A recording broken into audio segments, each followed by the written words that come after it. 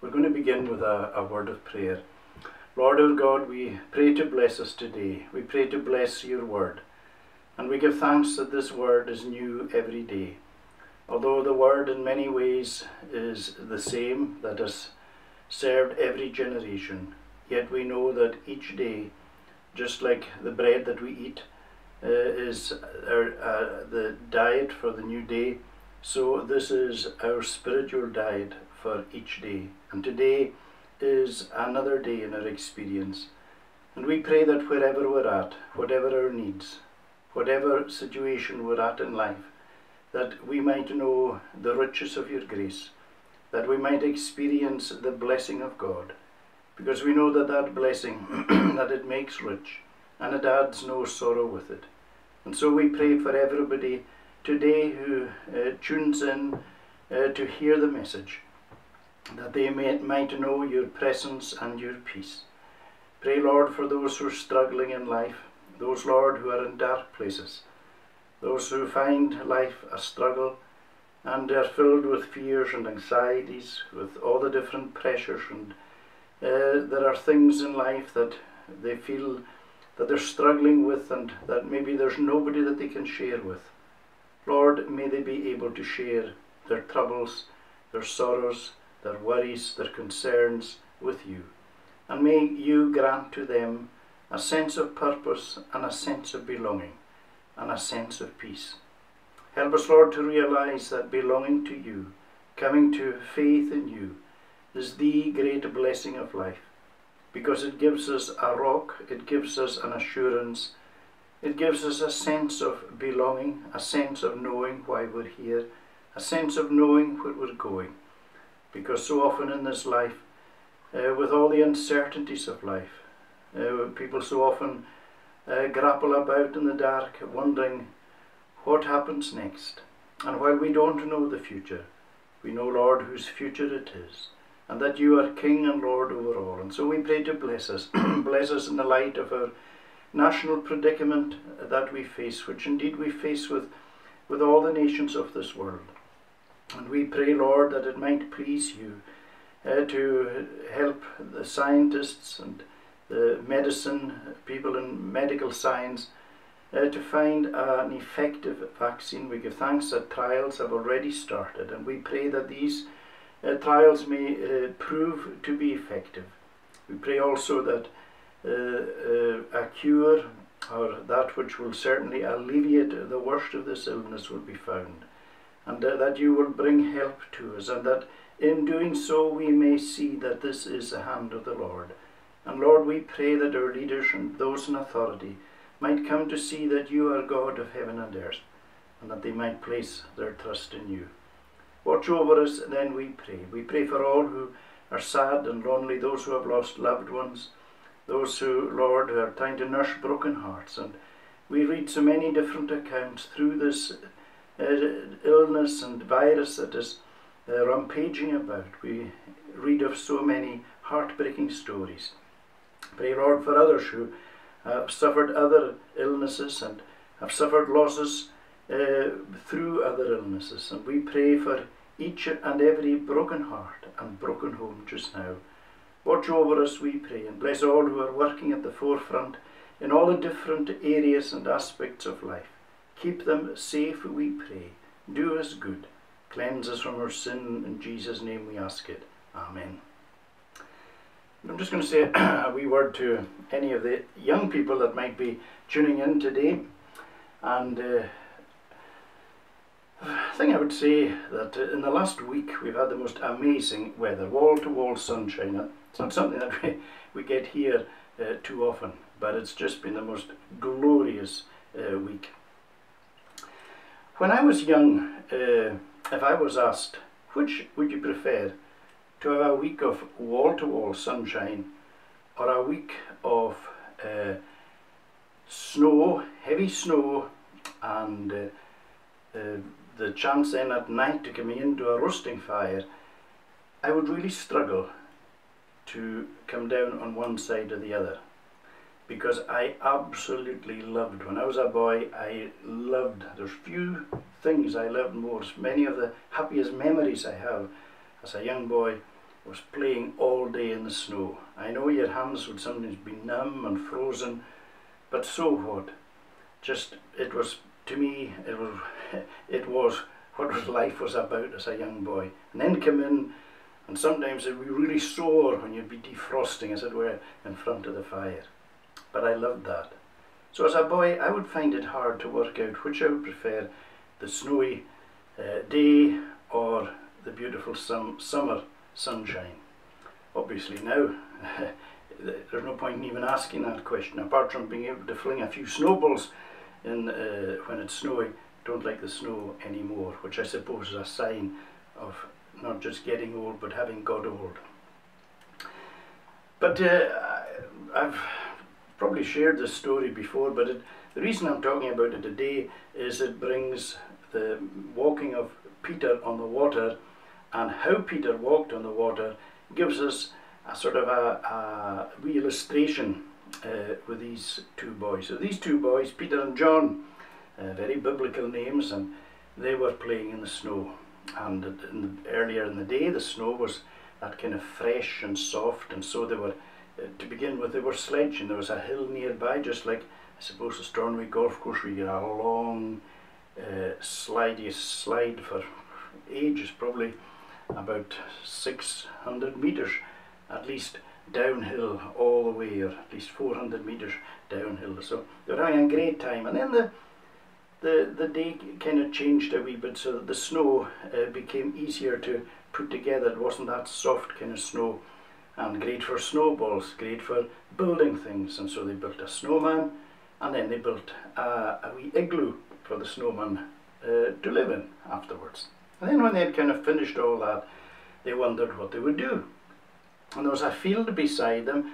It wasn't a, a wide field, quite narrow, uh, but it was quite quite a long field. So uh, John says to Peter, right, let's cross this field. And the field went up a brae. Let's cross this field and see who can walk straightest. We'll look at their footprints afterwards. So over the fence they went and they crossed the field. And when they reached the other side, they looked back. And John, you could see his footprints were, they were all over the place. And Peter's footprints were in a straight line. And John says, how did you manage that? Because he said, I was really, really careful how I walked. Because all the time I, I was looking down and I was putting one foot in front of the other and I was very careful and I was putting the one foot, one foot there like that. So I was sure I was going to walk in a straight, much straighter line than you. Well, Peter said what I did was I just fixed my eye on the this this tree beside us here and I fixed my eye on that tree and I didn't take my my eye off the tree all the way across. And as I walked obviously I walked completely straight in a straight line to it. And that's what we're going to look at when we come to see Peter walking on the water. Because it's a great example of how we walk as Christians. Our eye is upon Christ upon the Lord Jesus. If we take our eye off, if we look down, then we're going to zigzag as we walk our life. But if we look to Jesus and focus on Jesus all the time, then we will walk in the right way, the way we're supposed to walk. So we pray that we'll be all able to walk in that way. We're going to say the Lord's Prayer. Our Father, which art in heaven, hallowed be thy name. Thy kingdom come, Thy will be done on earth as it is in heaven. Give us this day our daily bread, and forgive us our debts as we forgive our debtors. Lead us not into temptation, but deliver us from evil. For thine is the kingdom and the power and the glory, for ever. Amen. Now we're going to read uh, God's Word, and again we're going to read in the same part as we read last week from Matthew chapter 14, uh, but this time we're going to read from verse 22 so we're reading some of what we read last week. Immediately, Jesus made the disciples get into the boat and go before him to the other side, while he dismissed the crowds. And after he had dismissed the crowds, he went up on the mountain uh, by himself to pray. When evening came, he was there alone, but the boat by this time was a long way from the land, beaten by the waves, for the wind was against them. And in the fourth watch of the night he came to them walking on the sea. But when the disciples saw him walking on the sea, they were terrified and said, It is a ghost. And they cried out in fear. But immediately Jesus spoke to them, saying, Take heart, it is I, do not be afraid. And Peter answered him, Lord, if it is you, command me to come to you on the water. He said, Come. So Peter got out of the boat and walked on the water and came to Jesus. But when he saw the wind, he was afraid, and beginning to sink, he cried out, Lord, save me. Jesus immediately reached out his hand and took hold of him, saying to him, O you of little faith, why did you doubt? And when they got into the boat, the wind ceased. And those in the boat worshipped him, saying, Truly, you are the Son of God. Amen. And may God bless to us this reading of his own holy word. Now, last week we looked at Jesus coming to the disciples uh, through the night and walking on the water. And this week I want us to follow that particular uh, incident, but to focus more on Peter going to Jesus walking on the water. You remember how Jesus uh, sent the disciples away, he sent them away uh, to cross in the water on, the, on their own while he went up into the mountain to pray. But we saw last week that he sent them into a storm. And uh, we suggested that uh, part of the reason they were sent into a storm was to shake the complacency of the disciples because they had been part of the great miracle of the feeding of the thousands, but it tells us in Mark's Gospel that they didn't even consider what Jesus had done. They had become so used to Jesus, so used to his presence, so used to his power, that it didn't mean much to them. And if that ever happens to us, that we begin to take Jesus for granted, and that we don't realize the amazing thing it is to have Jesus as our Lord and Saviour, we shouldn't be too surprised if Jesus will allow a storm into our lives. God has to remind us that it is in Him that we live, move, and have our being, and that every blessing that we have in life ultimately comes from Him. And so it's one of the things that we should be looking for and asking the Lord to give us is a God consciousness every single day, all throughout life, even in the mundane things, that we might be able to see God's hand in everything. And if we do, it makes life so different. It enhances life. It brings another dimension. It brings a spirituality to life in all the physical and mental and emotional uh, things of life when we, when we see God's hand at work.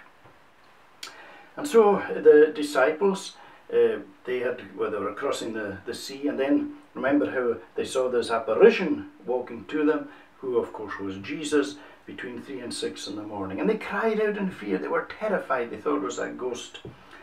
And again, we suggested that if the disciples had been more uh, spiritually tuned, if they had uh, been considering Jesus and who, who he was and what he was doing, then they wouldn't have been so alarmed because in all doubt, in, no doubt they would have recognized that this was Jesus coming to them. And so often we can miss the presence of Jesus when we're not spiritually alive. Anyway, Jesus uh, came and he shouted across to them and while they were there in their fear, saying, It is I, uh, be not afraid. Take heart, it is I, be not afraid. So to that's the, the great thing. We pray that we will all hear the voice of Jesus even today saying these words to us in our own personal and even in our own national storm. It is I, do not be afraid. But what follows on is really intriguing because this is where we find Peter making his way to Jesus on the water. And the, the first thing that I love about Peter is his exuberant love for the Lord Jesus. As soon as he recognizes this is Jesus, he can't wait for Jesus to come. He must get to Jesus. And that's part of what uh, makes Peter such an endearing character, despite all his flaws and, and all his faults, and there were many, is that he had a passionate love for the Lord Jesus in his heart. And so this is what is behind him when he says, and his, his desire to get to Jesus. because faith and love take over at that moment. And I see this as a great example of faith and love at work. Now, what I want to look at in Peter very simply and spend more on the first thing is Peter's great faith. Then we see Peter's little faith or weak faith. And then we see Peter's returning faith. So, first of all, Peter's great faith. And he showed great faith in wanting to go over the side of the boat to see Jesus. But that's really the nature of faith, because faith views the object of faith. And faith wants to get as close as possible to that object. Because you see, faith worketh by love, so the Bible tells us.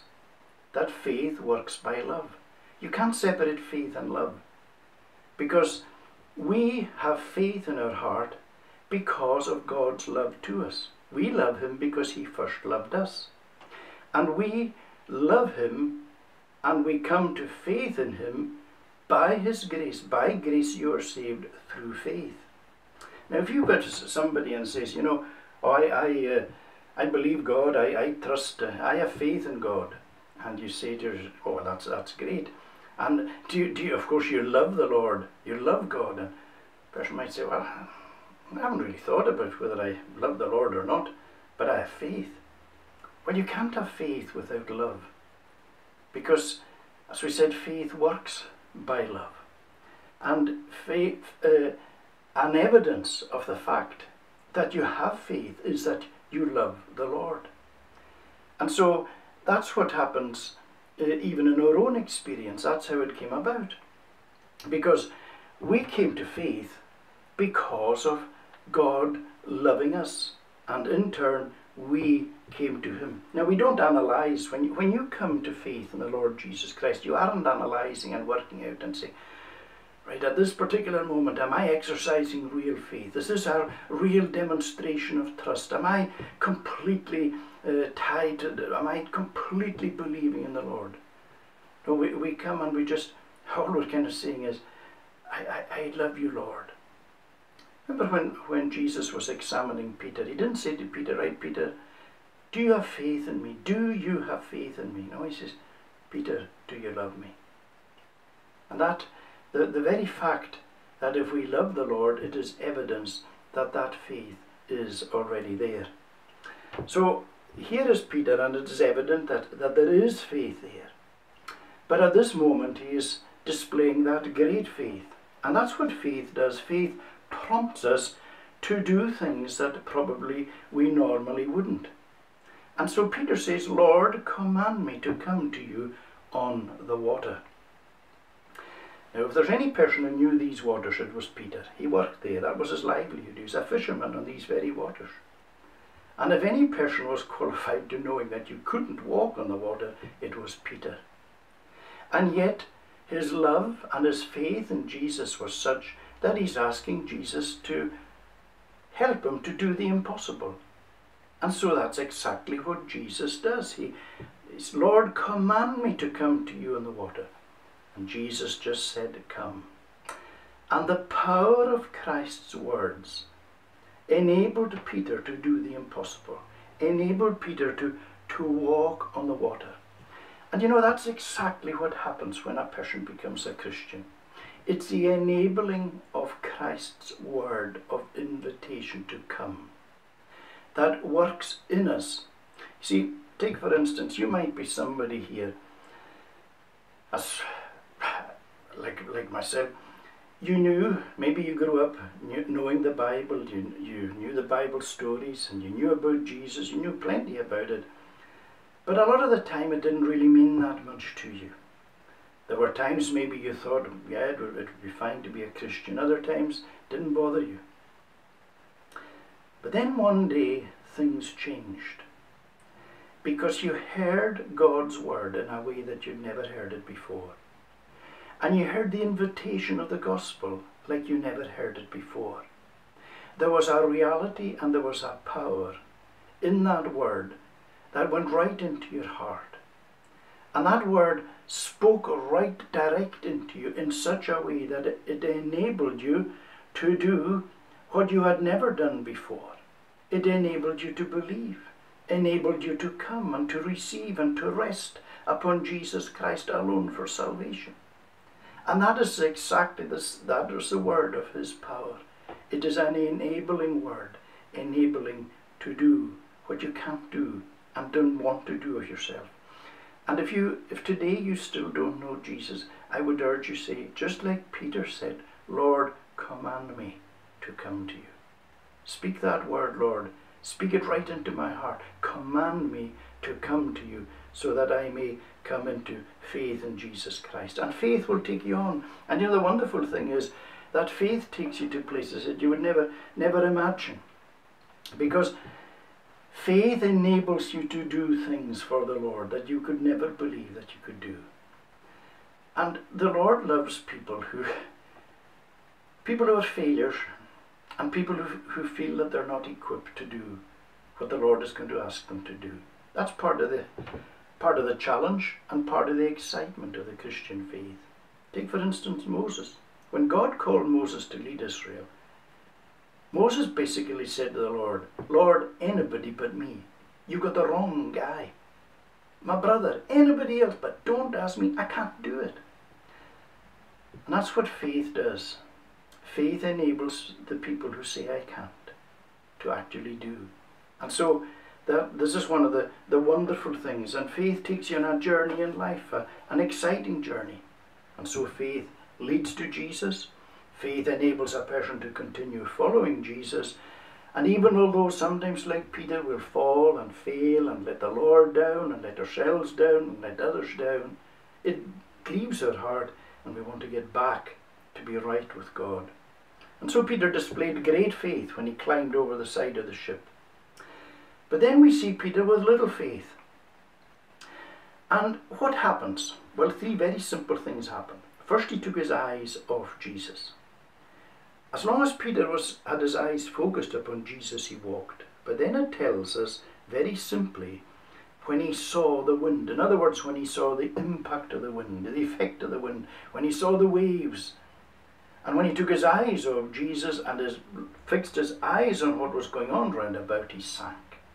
You know, so will you and I.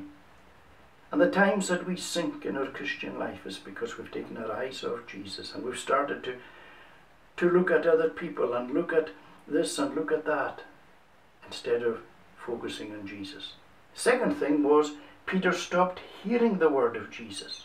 He was hearing now the roar. He wasn't hearing the word come. He was hearing the word, hearing the roar of the, of the wind and the surge of the sea. And that's what was going on. That's what he was hearing. And we'll sink as well when we hear the other thing. If we listen, for instance, to our own heart, we'll sink. When Dave, we find David having displayed great faith, then he really sinks and why did he sink? Because David said within his own heart, Surely one day I shall die by the hand of Saul. See, he was talking to the, the most deceitful thing that you can talk to in a sense is your own heart. So David took his eye off the Lord. Peter took his eye off the Lord. And when we take our eye off the Lord and stop listening to God's word and listen to the other voices around us and the voice of the world and the voice of circumstances, we too will sink. And the third thing was the situation around him seemed bigger than Jesus. Everything around seemed, oh no, I, this is too much. And so you lose sight of Jesus in the circumstances, and that often happens in life with the trials and sorrows and difficulties and things. They loom large, and they loom so large we lose sight of Jesus. So that's why we have to focus on Jesus. And that brings us finally to the returning faith. And very simply, Peter turned again to look to Jesus. He turned and he looked and he saw him. And he cried in desperation as he was beginning to sink, Lord, save me. And Jesus stretched out his hand and saved him. And Jesus will always stretch out his hand to save anyone who calls that cry, Lord, save me. Always will. And that's why we have to today realize that the Lord Jesus has an outstretched hand and he's reaching out to us with the gospel saying, I'll give you hope I'll give, for life. I'll give you peace. I'll give you a sense of purpose and understanding of life. take me. John Bunyan, The Pilgrim's Progress, we, we know the illustration of the man raking about in the dust, and he was always looking down, looking to find a coin or looking to find maybe a, a some hid, hidden hidden jewels or something. And all the time, head down, he was raking about in the dirt and in the dust. Above him was a beautiful person with an outstretched hand holding the most magnificent crown, the most rich crown possible. But he never looked up. If only he had looked up, he wouldn't have to rake about any more. But never once looked up. Bunyan was saying his illustration was so many people are like that. They spend all their life raking about, trying to get things that will, will fulfill and satisfy them, and they never look up to the Lord who is holding out to them the crown of life. Will you look up today to Jesus who is holding out the crown of life to you? Let us pray. Lord, we give thanks for your word. We give thanks that this word is a source of life, a source of encouragement to us. And in this world of uncertainty and fear and darkness, although it's a great world, and we have so many blessings, we have so many things that we are thankful for, yet, Lord, it is uncertain. But we pray that we may lay hold upon the one who is certain in life, that we may have you for life, and that we may have you for death, and that we may have you for eternity. Lord, bless us and bless our homes and our families and all whom we love. Commit everybody into your care and keeping, and cleanse us from our sin, we pray. Do us good not only throughout this day and throughout this week, but throughout all the days of our life. Forgive us our sin in Jesus' name. Amen. We're going to conclude by singing from Psalm 34. Psalm 34, and this is from verse 5. Uh, they looked to him and lightened were, not shamed were their faces. This poor man cried. God heard and saved him from all his distresses. Here we have this is a poor man just like Peter who felt himself singing, and he cries to the Lord, and the Lord hears and saves him, and he will for you and me as well. The angel of the Lord encamps, and round encompasseth all those about that do him fear, and them delivereth. O taste and see that God is good. Who trusts in him is blessed. Fear God his saints. None that in fear shall be with want oppressed. The lion's young may hungry be, and they may lack their food, but they that truly seek the Lord shall not lack any good. 5 to 10 of Psalm 34. They look to him and lightened were. They look to him and lightened